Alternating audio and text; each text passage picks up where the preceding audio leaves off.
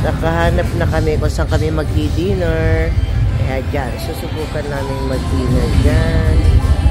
Subukan natin. So, pauwi na kasi kami ng Vegas, kaya mag-dinner muna kami. Yan. Parang itong restaurant na to parang ping-pang pong din sa Las Vegas. Kaya subukan natin kung ano ang makakain. Ayun na yung asawa ko nag-order na pala. Yan, kasi bago kami uuwi ng Vegas. Ayun. Yan. Dito kami kakain, no? Dinner. Pauwi na kami ng Vegas. After ano namin, dinner.